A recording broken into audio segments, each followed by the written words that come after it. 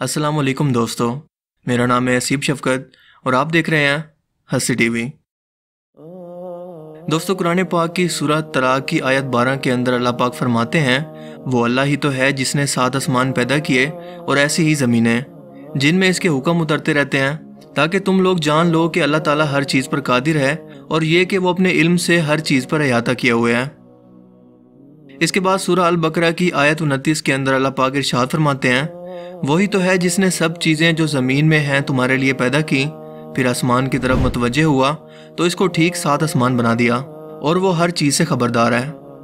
इन आयत मुबारक से ये वाजे हो जाता है कि वो आसमान जिसे हम अपनी ज़ाहरी आँखों से आज देख रहे हैं, वो महज एक आसमान तक महदूद नहीं है, बल्कि बिल्कुल इसी तरह के और इसी से मिलते जुलते सात आसमान या कायनातें मौजूद हैं, जो हमारी नज़रों और सोच से बहुत बहुत दूर हैं बिल्कुल इसी तरह से सात जमीनों का भी ज़िक्र किया गया है, जो एक साहिब अकल शख्स के दिमाग में ये सवाल ज़रूर पैदा कर सकती हैं कि तय बतय सात आसमानों से और सात जमीनों से दरअसल मुराद क्या है। क्या वाकई हमारी इस कायनात की जैसी कई और कायनातें भी वजूद रखती हैं, जहाँ पर इंसानों जैसी या कोई भी और मखलूक वजूद रखती है और यहाँ पर अल्लाह ताला के अहकाम भी नाजिल होते हैं? जो कि हमारी मौजूदा कायनात से बिल्कुल अलग और जुदा हैं, या फिर इससे मुराद ज़मीन के गिर्द मौजूद कुदरती हिफाजती तहें जैसे कि ट्रोपोस्फेयर, स्टेटोस्फेयर मेजोस्फेयर थर्मोस्फेयर, ज़मीन का कुदरती मैग्नेटिक फ़ील्ड या फिर ओजोन लेयर वगैरह हैं जो कि हमारी ज़मीन को हर लम्हा खला से आने वाले बैरूनी खतरात से बचाती हैं और ज़मीन पर ज़िंदगी के वजूद को कायम रखने के लिए इंतहाई ज़रूरी हैं। जहाँ तक आसमानों की बात है तो इस बात के अंदर कोई शक नहीं कि सात आसमानों से मुराद हमारे आसमान जैसे छः और जहाँ भी हैं, जिसका वाज तौर पर ज़िक्र कुरान करीम के अंदर कई मकाम पर किया गया है। कुरान करीम के अंदर अढ़ाई सौ से ज़्यादा मकाम पर आसमान का ज़िक्र किया गया है। जैसा कि सूरह अन्नबा की आयत 12 के अंदर अल्लाह पाक इरशाद फरमाते हैं, और हमने तुम्हारे ऊपर सात मज़बूत आसमान बनाए। बिल्कुल इसी तरह से सूरह अल इसरा की आयत चवालीस के अंदर अल्लाह पाक ने मजीद फरमाया, सातों आसमान और ज़मीन के अंदर जो लोग भी हैं, सब की सब इसकी तस्वीर बयान करते हैं, और मखलूक में कोई भी चीज़ नहीं, मगर इसकी तारीफ़ के साथ तस्वीर करती है। लेकिन तुम इसकी तस्वीर को नहीं समझते। बेशक वो बुर्द गफ़ार है। यानी कि खाली के कायनात ने सिर्फ़ एक नहीं, बल्कि सात कायनातें बनाई और इन्हीं कायनातों के अंदर ज़मीन की तरह की ही कई ज़मीनें मौजूद हैं, जहाँ पर कई नामालूम मखलूक आबाद हो सकती हैं। जैसा कि हज़रत आदम इस्लाम के ज़मीन पर आने से पहले ज़मीन पर जिन्नात आबाद थे। इसके अलावा नबी पाक सल्लल्लाहु अलैहि वसल्लम का सफ़र मराज, इस बात का वाज तरीन सबूत है, जब अपनी जनती सवारी बुराक पर सफ़र करते हुए हज़रत जब्राईसम के हमरा तमाम आसमानी रास्तों को आप अलैहि वसल्लम ने पार किया, जिसके अंदर सात आसमान भी शामिल हैं। आपने पहले आसमान पर जिसका नाम रुकैया है और ये दूध से भी ज़्यादा सफ़ेद है, यहाँ पर हज़रत आदम इस्लाम से मुलाकात की, फिर दूसरे आसमान पर जिसका नाम फैदूम या माउन है, और ये ऐसे लोहे का बना है जिससे रोशनी की शुआएँ फूटती हैं। यहाँ पर हज़रत ईसा और इस्लाम से जबकि तीसरे आसमान पर जिसका नाम मलकूत है और ये तांबे का बना है, यहाँ पर हज़रत यूसुफ इस्लाम से। चौथे आसमान पर जिसे जोरा कहते हैं और ये सफ़ेद चांदी से बना है, यहाँ पर हज़रत इदरीस इस्लाम से। पाँचवें आसमान पर जिसे मजीना कहते हैं और ये सुर्ख सोने का बना है, हज़रत हारून इस्लाम से। छठे आसमान पर जिसका नाम खालिसा है और ये चमकदार मोतियों से बना है, यहाँ पर हज़रत मूसा इस्लाम से। और सातवें आसमान पर जिसका नाम लाबिया या दामे है। और ये सुर्ख याकूत से बना है यहाँ पर हज़रत इब्राहिम अलैहिस्सलाम से मुलाकात की, और इसी जगह पर बैतुल मामूर भी मौजूद है। यानी कि ज़मीन पर मौजूद खाना काबा की ही तरह का एक और काबा, जिसका हर वक्त सत्तर हज़ार फरिश्ते तवाफ करते हैं, और जो एक बार इसका तवाफ कर ले, इसकी दोबारा ज़िंदगी भर बारी नहीं आती। इन्हीं सातों आसमानों के ऊपर जन्नत और जहन्नुम मौजूद हैं, और जन्नत का हर दर्जा एक सियारे की सूरत में मौजूद है। इसी तरह जहन्नुम के भी सात दर्जे हैं, यानी कि सात सियारे या प्लेनेट इसके ऊपर सिदरतुल मुंतहा यानी कि बेरी के दरख्त तक मौजूद हैं, जो कि हर मखलूक़ात की हद है। और इससे आगे कोई भी मखलूक़ात अगर बढ़ना भी चाहे तो वो जल कर खाक में बदल जाएगी। लेकिन अल्लाह के रसूल सफ़र मराज पर इससे भी आगे तशरीफ़ ले गए और हज़रत जब्राईसम इस दरख्त के पास ये कहकर रुक गए कि अल्लाह के रसूल, ये मेरी हद है। अगर मैंने इससे एक कदम भी आगे बढ़ने की कोशिश की तो मेरे पर जल जाएँगे। सिदरतुल मुंतहा के ऊपर अल्लाह ताला का अर्श मौजूद है। जो कि ज़मीन और आसमान या इस पूरी कायनात का अहाता किया हुआ है। क्यामत के रोज हर ज़िंदा चीज़ को फना होना है, इसलिए जन्नत और जहन्नुम को सातों आसमानों से अलग या जुदा बनाया गया है, क्योंकि क्यामत के बाद भी वो कायम रहेंगी। दोस्तों, कुरान करीम की जिन आयात के अंदर आसमानों के बाद ज़मीन जैसी सात ज़मीनों का ज़िक्र मौजूद है, इससे मुराद ज़मीन की तय में मौजूद कोई लेयर्स नहीं है, मसलन क्रस्ट, मेंटल और कोर वगैरह। बल्कि इन्हीं आसमानों में ज़मीन जैसी कई और ज़मीनें भी मौजूद हैं, और इन आयात के अंदर ज़मीन का हवाला देने का मतलब ये है कि वहाँ पर भी हमारी अर्थ की ही तरह कोई ज़िंदगी मौजूद हो सकती है। और ये ज़िंदगी किस सूरत के अंदर मौजूद है, हम कुछ नहीं जानते। और इसकी मिसाल देने की वजह यह है कि ज़मीन ज़िंदगी की अलामत है, और इंसान भी सिर्फ़ इसी के बारे में जानते हैं। जब इंसान की मौत का वक्त करीब आता है तो इसकी रूह को हर एक आसमानी दरवाजे से गुजार कर आलम अरवाह के अंदर ले जाया जाता है, जहाँ पर क्यामत तक आने वाली रूहें इंतज़ार करती हैं। हर एक आसमानी दरवाजे पर निगहबान फरिश्ते इस रूह का हसब नसब पूछते हैं और फिर इसे इस दरवाजे से गुजरने देते हैं। जैसा कि सफ़र मराज पर हज़रत जब्राईसलाम ने नबी पाक सल्लल्लाहु अलैहि वसल्लम का हर एक आसमान पर तारुफ करवाया और इन निगमान फरिश्तों ने खुशामदीद कहकर दरवाजे खोल दिए। हदीस मुबारक के अल्फाज हैं कि पहले आसमान के मुकाबले में दूसरा आसमान इतना बड़ा है, जैसे किसी सैराग के अंदर एक अंगूठी मौजूद हो। एक बड़े सैराग के अंदर मौजूद एक अंगूठी की हैसियत क्या हो सकती है?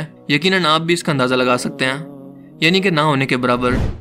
इसी तरह मजीद फरमाया कि दूसरा आसमान पहले आसमान के मुकाबले में इतना बड़ा है कि दूसरे आसमान को सिरा समझ लो, और पहले आसमान को एक अंगूठी जो इस सिरा के अंदर मौजूद है। और इसी तरह से सातों आसमानों के बारे में आपने यही बयान किया। कि इन सातों आसमानों के अंदर हर एक आसमान दूसरे आसमान से साइज़ के अंदर नाकाबले यकीन हद तक बड़ा है, जिसके ऊपर अल्लाह का अर्श मौजूद है और अल्लाह का अर्श इतना बड़ा है कि सात आसमान इसके सामने सरा में पड़ी हुई एक अंगूठी के साइज़ के बराबर हैं। इसी बात को आज साइंस मल्टीवर्स थ्योरी कहकर कुछ इस तरह से इसकी वजाहत करती है कि हमारी इस कायनात जैसी कई और कायनातें भी मौजूद हैं, जो एक दूसरे से जुदा और अलग अलग हैं। इस पर दुनिया के सभी साइंटिस्ट यकीन रखते हैं, जिसे मशहूर कॉस्मोलॉजिस्ट डॉक्टर एलन गूथ ने न्यूमेरिकल कैलकुलेशन से साबित किया और बताया कि जिस कायनात को हम अब तक सब कुछ समझ रहे थे, वो दरअसल हमारी इस पूरी कायनात का एक छोटा सा टुकड़ा भी नहीं है, जिसे हम ऑब्जर्वेबल यूनिवर्स कहते हैं। बल्कि असल कायनात यानी कि नॉन ऑब्जर्वेबल यूनिवर्स इसके मुकाबले में थ्री मल्टीप्लाई बाई टेन की पावर ट्वेंटी थ्री टाइम्स गुना बड़ी है। यानी कि ऐसी कायनात जिसे हम ना तो देख सकते हैं, ना ही इसका मुशाह कर सकते हैं। और ना ही कभी इसे देख पाएँगे। ऑब्जर्वेबल यूनिवर्स जिसका हम अब तक मुशाह कर पाए हैं, इसका साइज़ है 46.5 बिलियन लाइट ईयर जिसे अगर डॉक्टर एलन के मुताबिक एक्चुअल यूनिवर्स के साइज़ यानी कि थ्री मल्टीप्लाई बाई टेन की पावर 23 से मल्टीप्लाई करें तो पहले आसमान का असल साइज़ सामने आता है जो कि 4.28 मल्टीप्लाई बाई 10 की पावर 23 बनती है। यानी कि एक आसमान से दूसरे आसमान तक की दूरी, जहाँ तक पहुँचने का वक्त नापने के अंदर शायद वक्त का पैमाना ही कम बढ़ जाए। जहाँ तक इंसान पहुँचने का तस्वुर भी नहीं कर सकता। बल्कि हकीकत तो यह है कि वो अपने करीब तरीन चाँद पर भी जाने के काबिल नहीं हो सका। सो सात आसमानों पर पहुँचने के बारे में सोचना तो किसी बेवकूफ़ी से कम नहीं। कायनात की वसत अल्लाह ताला की बेपनाह कुदरत की निशानी है कि इस कदर पावर और टेक्नोलॉजी के हसूल के बावजूद इंसान पहले आसमान तक का सिरा तक नहीं ढूंढ पाए। खुद कुरान करीम ने चैलेंज किया है कि इंसान आसमान और ज़मीन के दायरे से बाहर नहीं निकल सकता जहाँ तक इसकी हद मुकर है। दोस्तों, किसी चीज़ का आँखों से नज़र ना आना इस बात की दलील नहीं है कि वो चीज़ दरअसल मौजूद ही नहीं है। क्योंकि हमारी इस दुनिया के अंदर भी बहुत सारी ऐसी चीज़ें हैं जिन्हें हम ना तो देख सकते हैं और ना ही छू सकते हैं, लेकिन वो हकीकत के अंदर मौजूद हैं। और हम इन चीज़ों को सिर्फ़ इसलिए मानते हैं कि ये हमारे मुशाहे की चीज़ें हैं और हम मुशाहे का इनकार नहीं कर सकते। मसलन gravity dark matter dark energy electromagnetic waves और इस तरह की कई चीज़ें हमारी दुनिया और कायनात के अंदर मौजूद हैं, लेकिन हमें नज़र नहीं आती। सात आसमानों का तस्वुर भी ज़रा मुख्तलिफ़ नहीं है, क्योंकि वो हमारी नज़रों से किसी मसलत की वजह से पोशीदा हैं। इस अजीम शान कायनात की तख्लीक के बारे में दुनिया का तकरीबन हर शख्स बिग बैंग थ्योरी पर यकीन रखता है, जिसके मुताबिक हमारी कायनात एक नथिंग पॉइंट से एक सिंगुलैरिटी के अंदर बंद थी, जिसका मैस अनलिमिटेड था और ग्रेविटी हद से ज़्यादा। सो ये एक बड़े धमाके से फट कर बिखर गई, जिससे मौजूदा कायनात, स्टार्स, गलेक्सीज और नेबुलस वगैरह सब कुछ बना। और ये भी कि यह हर लम्हा रोशनी की रफ्तार से मुसलसल अब तक फैल रही है, जैसा कि धमाके के बाद होता है कि चीज़ें दूर दूर तक बिखर जाती हैं। और जब इस धमाके की शिदत खत्म होगी तो ये फिर से वहीं पर वापस लिपटना शुरू कर देगी, जहाँ से इसका आगाज़ हुआ। इसी बिग बैंग के बारे में कुरान करीम आज से 1400 साल पहले बयान करता है कि क्या काफरों ने नहीं देखा कि आसमान और ज़मीन दोनों मिले हुए थे। तो हमने इनको जुदा जुदा कर दिया और तमाम जानदार चीज़ें हमने पानी से बनाई। फिर ये लोग ईमान क्यों नहीं लाते? जबकि इस कायनात के खात्मे से मुतल अल्लाह पाक फरमाते हैं कि क्या तुम नहीं देखते कि जितनी चीज़ें ज़मीन में हैं, सब कुछ खुदा ने तुम्हारे जेर फरमान कर रखी हैं और कश्तियाँ भी, जो इसके हुक्म से दरिया के अंदर चलती हैं और वो आसमान को थामे रखता है कि ज़मीन पर वो गिर ना पड़े। मगर इसके हुक्म से, बेशक खुदा लोगों पर नहायत शफकत करने वाला और मेहरबान है। दोस्तों, यहाँ पर आसमान को थामने की बात करना कि वो गिरना पड़े, इससे मुराद आज की ज़बान के अंदर, साइंस की ज़बान में बिग क्रंच थ्योरी है। जिससे मुराद ये है कि जिस रफ्तार से हमारी ये कायनात फैल रही है, इसी रफ्तार से एक दिन सुकड़ कर फिर से एक सिंगुलरिटी के अंदर बदल कर बिल्कुल ख़त्म हो जाएगी।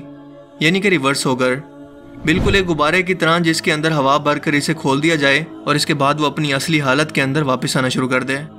बिल्कुल यही हाल ग्रेविटी भी पूरी कायनात का करेगी और ज़रा सोच कर देखें कि ये ग्रेविटी जैसी फोर्स दरअसल है क्या, जो हमें नज़र नहीं आती लेकिन वजूद रखती है।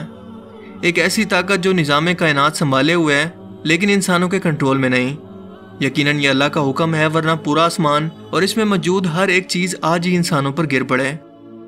आज से 1400 साल पहले इस कायनात के पैदा करने, इसके खात्मे और इसकी वसतों को अरब के सराग के अंदर जब किसी भी किस्म का कोई फलकियाती या कॉस्मोलॉजी का कोई इल्म मौजूद ही नहीं था, किसने अपने प्यारे पैगंबर को ये सब बातें इतने वाज अंदाज के अंदर बयान की, जिसे आज इक्कीसवीं सदी की साइंस आज के दौर की सबसे बड़ी दरियाफ्त के तौर पर पेश करके फ़ख्र महसूस करती हैं?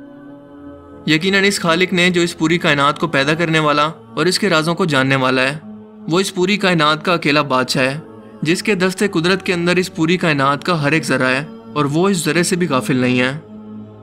मुझे उम्मीद है कि आज की इस वीडियो से आपको बहुत कुछ नया जानने को मिला होगा और ये वीडियो आपको पसंद आया होगा। अगर ये वीडियो आपको अच्छा लगा तो इसे लाइक कीजिए और मज़ीद इस तरह के इन्फॉर्मेटिव वीडियोज़ के लिए इस चैनल को ज़रूर सब्सक्राइब करें। अब मैं मिलूँगा आपसे एक नई इंटरेस्टिंग वीडियो में। तब तक के लिए अपना बहुत सा ख्याल रखिएगा। Thanks for watching this video अल्लाह हाफिज़।